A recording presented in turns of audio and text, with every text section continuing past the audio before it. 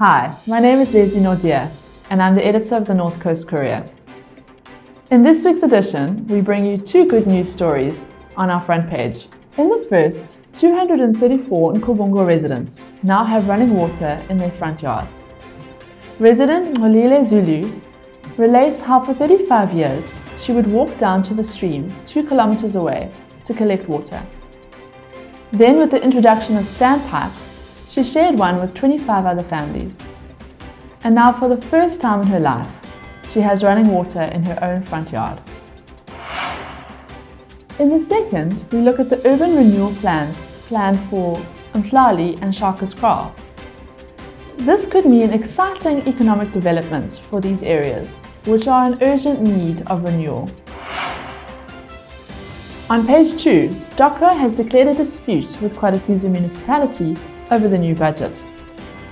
If province does not intervene, DOCRA says they are prepared to hire lawyers to get a legally enforced review of the budget. On page 3, we look at illegal sand mining, which is continuing to wreak havoc on the Mvoti River. Environmentalists are saying that this is causing irreversible damage and even affecting the piping of water to KwaDukuza. There are many more great good news stories in this week's paper, including the history of the Tongaat Daily Market, the Miss Ballito finalists, and Ballito resident Rod Spencer, who did a 500 kilometer race for charity. You can follow us on social media for daily breaking news.